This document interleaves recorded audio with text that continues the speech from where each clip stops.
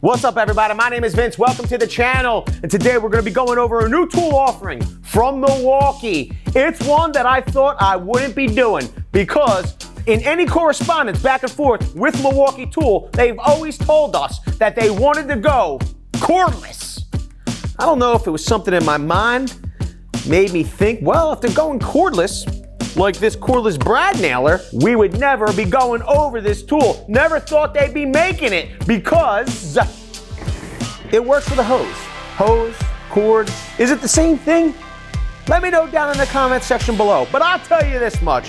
When it came over Z-Wire or email, I was super excited because there are or is pneumatic tools that I just don't want to give up. We're going to go over this new offering right after this message from our sponsor, VCG Construction.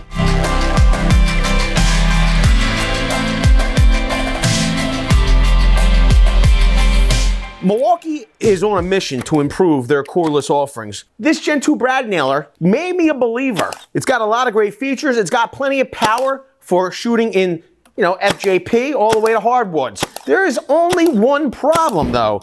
Milwaukee does not presently make a cordless pin nailer. I will use a pin nailer where I can. I still was burdened with not only a hose, because you need a hose to operate this, this is a pneumatic tool, but a cord because I needed to plug in a compressor. A lot of you over the years asked us to find out if Milwaukee had any plans for doing a cordless compressor. We asked. They said no. Their focus was cordless nailers. So I kind of figured that a compressor, because it uses a hose, wasn't in the works. Well, they snuck this one up on us. This is Milwaukee's M18 Fuel compressor. When they announced this, I was so fired up about it because it's the form factor I like without the cord.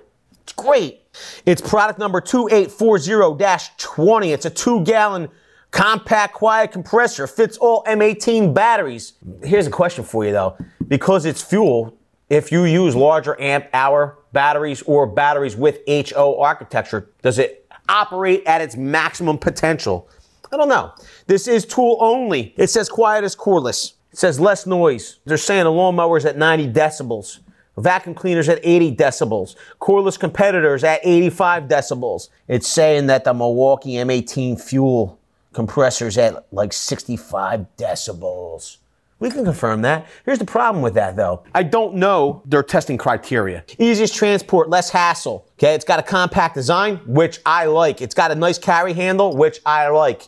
That's present on my previous model. It is 31.2 pounds, lightweight, 1600 nails per charge. So if you're using a 12 amp hour battery, you're going to get that, that 1600 nails. Okay, if you want to step it down to an 8 amp hour, you're going to get 1,000. And if you use a 5 amp hour, you're going to get 600. You'll see here on the specifications, SCFMs 1.2 at 90 PSI. Capacities, 2 gallons. Sound level, 68 decibels, it says here. Regulator, single turn. Pump type is oil-free.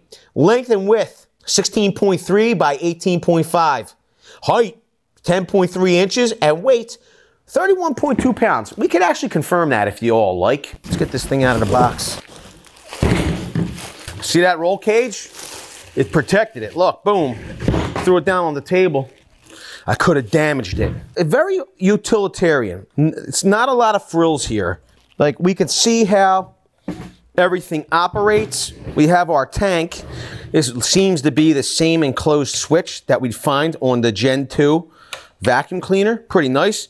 There's a lot of, it just, it seems like business going on here. You can see our POWERSTATE brushless motor is down here inside the compressor. You can see we have a single gauge. My older compressor has two gauges. It has the tank pressure and then the outlet pressure. They're choosing to have a dial that indicates what your outlet pressure is instead of using this in conjunction with a gauge. Here's our, our cock, which is very positive to drain your tank. I like that, pretty nice. It's called the intake filter. Okay, that's the filter cap. Okay, the filter and cap. This is the tube. So we're supposed to install I, I will tell you this much. I'm going to throw some Teflon tape on here because I, I'm more worried about it seizing in there over time as opposed to you know, sealing. I, I just would like to have that Teflon on there. We're gonna pop in our filter. I'm gonna put our cover back on. Then we're gonna put our hose back in. All right, so we have the big boy. We're gonna pop it in right here. It'll fit in the box. No problem at all. Then we have to turn on our switch. Before we do that though, I'm thinking maybe we should throw this bad boy on the scale. We got to put down a piece of wood, turn our scale on so it will take its tare. You'll see it's zero, zero. We're going to put the compressor. It's a balancing act. Okay, with the 12.0 battery, it's 34 pounds, 9.4 ounces. Without the battery, we're looking at 31 pounds and like three ounces. We're gonna turn on our digital sound level meter. The ambient noise in here is right around 30, 38 decibels, correct? So Milwaukee Tool doesn't give us a, a distance when measuring this. So we're gonna, we're gonna act as though we're going to be right on top of this compressor all day. We're to turn the compressor on. We're to set the we're to set the outlet pressure to 110 psi, which really doesn't matter we, we just want our tank to get up to pressure. We have an almost full 12 amp hour battery. Let's turn, let's flip the switch.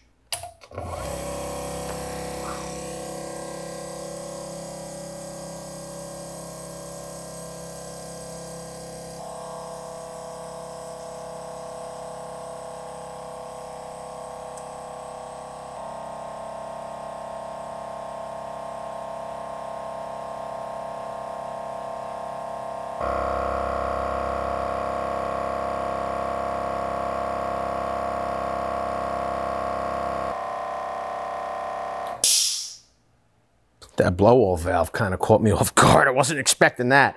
You will see when the tank is empty and, and the compressor's first beginning to build pressure, the, the decibels were right in that range that Milwaukee claims. As the tank began to fill and the compressor had to work harder to fill this tank, those decibels began to rise above what their stated pressure is. Now, we're at 110 on the outlet pressure. Tank is sitting right around 130. I want to see if we increase our outlet pressure, will that automatically give us a rise in tank pressure? Wow, I'll tell you this much. Wow. Is there a procedure? Okay, so if for some reason we were changing our, our tool or we were going from one type of, of nailer to another and we needed to make an adjustment to our outlet pressure, it's telling us we need to turn the compressor off first. It says to relieve some pressure from the tank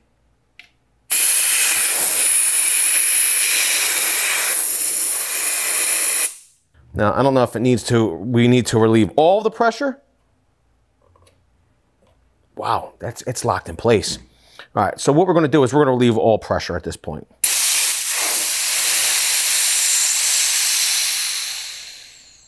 now the, the switch is, has released.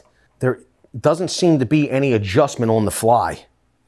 We have to lock the tank back down. Okay, and we have to refill. We're gonna have to refill the tank. See how it does. I will tell you, I think that for finish work, a two gallon compressor is is a really is a good size. If you're if you're a single if single person using nailers, I think this is would be fine for you. I have a single issue, and that is when I'm assembling molding, I a lot of times will use my brad nailer, pneumatic brad nailer, and my pin nailer at the same time. So I will have two hoses feeding the two nailers.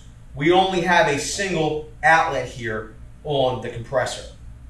This Grex pin nailer has made me a ton, a ton, a ton, a ton of money. The only thing is, is that it does require a the drops of oil.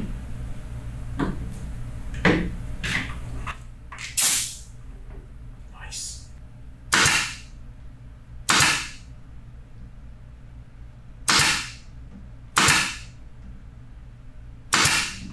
And to be honest with you, I would never put that many pins in a, in a, in a, in a, piece of molding, but I'm trying to see where our compressor will kick back on. So we're set at around, around 110 PSI, which is plenty to run this, this pin nailer. Let's run a couple more so we can see when it will turn on.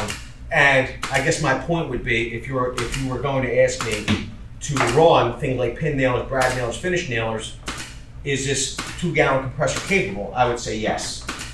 And, and because of the tank, you'll see for running those tools, you don't have the compressor kicking off and on, off and on, off and on.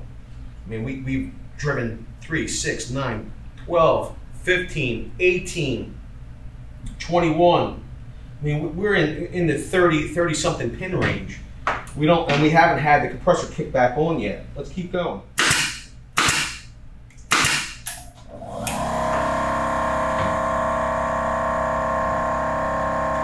So we dropped down to about 100 psi in the tank,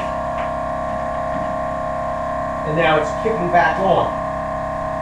I'm, I really am excited to have this. It is one more battery to charge, but it's one less extension cord to carry, one less outlet that I have to find on the job. It seems very convenient. It seems very quiet, and it seems to top itself off rather quickly. Now, if you were going to ask me, Vince, what can I expect to use this with.